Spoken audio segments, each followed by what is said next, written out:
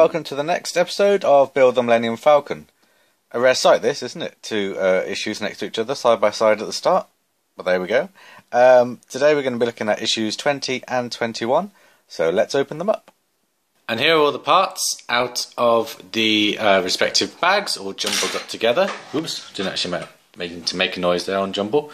Um, so what have we got? What have we got? We got another part of the plastic jig, which I will put together with the other part later. Um, we have the cushions for the interiors here. Um, these are interesting. They're a different shape to what we've seen before. So I am looking forward to seeing how these go on. I'm guessing that these go on to these parts as the shapes seem to match. Um, and that bit's tiny. Look at that teeny tiny bit there. That's going to be fiddly. But that will be upcoming in just a moment along with these. What we're going to look at now is the framework and this part um, from these issues. Framework, a mixture of issues. Oh yeah, forgot about these. They go with the jig. Um, the framework are a mixture from 20 and 21. This is from 21 and the same with the screws and the metal bits, blah blah blah. So, let's crack on.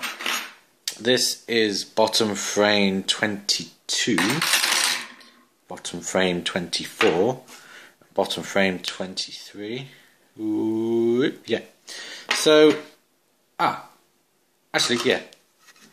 This is where it goes. I just realised as I was just about to talk just like the piece in earlier issues, if you remember, oops, these two pieces go on like so. And what we have here is return of the pig face. Return of the pig face. There we go. So that is how they will attach. Um, not sure how they will attach to here. Maybe like that. Because you can see the flat parts here. Like that, maybe. I don't know. I'm going to uh, have a look and put it together and then I'll be right back with you. Okay, so I have attached bottom frame 22 to bottom frame 19 here and you can see how it's starting to extend out from the main um, semicircle. If you flip this around now, you have enough framing to put this part in, which came in, oh, do you know what, I can't remember what issue it came in now, but it was a, it was a while ago. It was a good couple of videos ago. But that now fits into here like that, as you can see, uh, into this new frame. And if we get the underside from the last issue, here it is, in all its grimy glory, and push this in here, whoops, we can see it all now completed. Um, so there we go. So yeah, you really get a sense of depth now with that in. These will be covered. This will be covered. Um, landing gear, I believe, here. Not sure about this. Um, and then another one of these here, as I have said before. Um, if I flip this around, just to show you how it all connects. Now there's no screws yet to connect it, but the two holes here on the underside will match the two holes there. And then there's two holes on this bottom plate which will match up there as well. So when they attach like that, there's actually a slight curve to it. Um, it's not, you know, dead straight as you think it would. It's got a slight curve uh, like that. So when you flip it over, it won't be straight across. It'll have a nice slant to it, which I think will be very nice. And of course, you can see that from the design, but I didn't quite twig it till I've put it on there. Uh, so that is going to be upcoming when we get the screws for these parts. Okay, so here are the uh, other metal frameworks attached, uh, metal frame pieces I should say. There you get with these issues, these issues attached. Wow, I can't talk. Um, not too secure at the moment because we're missing some connectors. I'm sure they will come at a later date. Um, but yeah, let's just flip this over and have a look at what this looks like now. Just put this piece back on there like so. Um, so yeah, that's what it looks like. As you can see, it's the raised bit like it, um, like the first pieces we ever got with this build. The raised bit for the top. This is the raised bit for the bottom. So I guess that'll make it the sunken bit. Doesn't really matter. Um, this bit, I'll just show it rather than talk about it. Um, it's all complete this time instead of it being split down the middle into two halves. Not sure why that is. Um, there is talk that the top bit is going to be replaced because um, of some uh, molding issues um, in the top bit. The um, the framing does actually. Let me just show you rather than explain it. Here's the top bit here. So as you can see, kind of the molding finishes there, and then it's flat at this point. Whereas on this one, there's molding at the top and down the side. It doesn't go right to the edge. So apparently this is more screen accurate. So hopefully they will replace this bit, even though I quite like this bit, um, to make it more accurate. They might not, but those that's just what the rumours are saying at the moment. Uh, two pegs here for the two holes there. They will go in something like that. And very roughly then, this is what the underside looks like at the end of these issues. Okay, so these are the corridor linkway sides, I guess we'll call them. I don't know what to call them really. Um, the cushions here are the same as what we've seen before. They are the same colour, just a little thinner on a sprue, obviously. Um, yeah, not much else to say about these really. Um, yeah, they look good. And then we'll move on to this bit, and uh, yeah, there's the holes for all the cushion parts and the little one here. So I'm just going to paint these up and then put them on and be right back with you.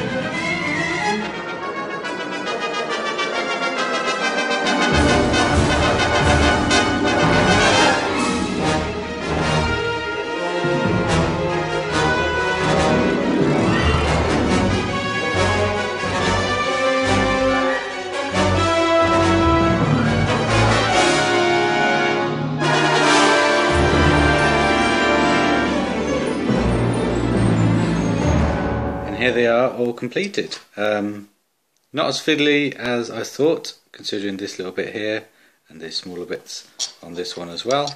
Um, they fit in nice and snug. I didn't even have to do much filing to get them aligned. Um, slight bit of weathering, uh, not too much. Um, yeah, not much else to say with these. They will come into play a little later on.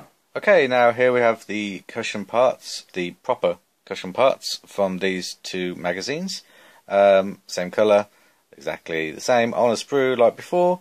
If I just uh, cut one out here, it's a little fiddly. Okay, come on, I got it. Yeah, okay, that's going to do imperfectly. There you go, it's out. Right, if I just put it on, just to give you a quick idea of where you put it in the corridor. So you've got tabs at the back, you just tab them in to the holes in the corridor. Um, and it just fits there just like that. So um, I'm going to do another speedy up, you think, you lucky people, and I'll be right back with you.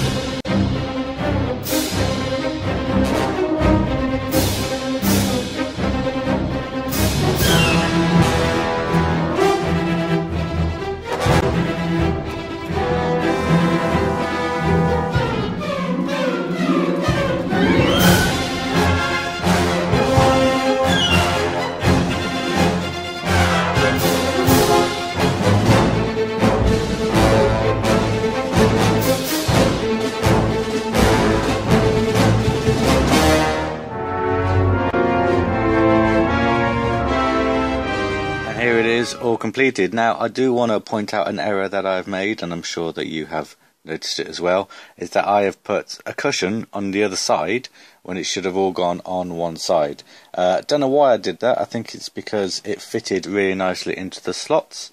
Um, I don't think it's a big issue because we will be getting cushions for the uh, blank side, so I'll just replace one of the cushions from there and put it on the side that I should have done this time. Yeah, just be careful, don't do that, because that's just really silly. and I can't believe I did it. But there we go, mistakes happen. Um, now I'm just going to bring in the two pieces that we put together earlier. Well, I put together earlier. You watched me do it. Um, yeah, so basically they've got tabs at the bottom, and the tabs fit into the holes uh, in the corridor, just like that. Uh, swing it around and do the same with the other side, tabs and into the holes. Um, yeah, so you've got to go in single file if you want to move corridors in the Falcon, it seems. Uh, but it's something nice texturally. It's nice to have a change. Um, it's not obviously put in properly because uh, it needs to be glued down. But yeah, I like the look of it. So um, yeah, very happy with this little addition. And just very quickly, I want to show you uh, what the interior main hold looks like connected to these corridor parts. It all fits nicely together. It is very nice again that we do have this level of interior. The first model of this scale to have it. You know, I've added my own little bits, but you know what I mean. Um, very, very gorgeous. Um, the reason I'm hesitating is that I'm not sure how much of this I'll get to see when I finally finish it. If my plan for a diorama goes ahead, I will be having this all closed up. But I'll know it's there and I can show it off to people should they ask. Um, not sure they will, but hey ho. Um, so yeah, that's all done. And now that that's all done, there's only one more thing left to do really. That is to put the pieces onto the blueprint. Uh, very quickly, this is what the jig looks like. Now we've got two parts together. This will come into play um, in the future issues, I hope. so I'm just going to put that there.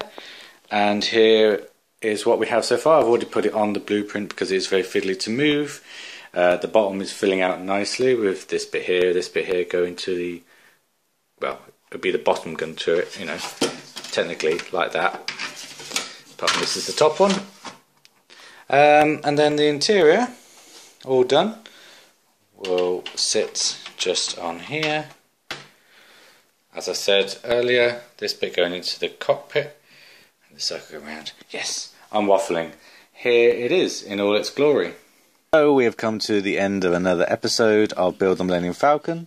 Um, keep an eye out for more videos upcoming, not just Falcon ones, um, but other craft. I mean, you saw the TIE fighters go up earlier um, as part of the diorama cinematic universe, which I'm now going to start calling it. Um, yeah, the X Wing is on its way to me. It should be here soon. I wish I'd paid for more postage, but um, not made of money. So just got to be patient on that one. Um, not much else to say. If you like what you see, subscribe. Uh, feel free to comment. Sorry if I don't get to reply. Um, I will try harder. Um, yeah, I'm going to leave you all to it. Take care. Bye bye.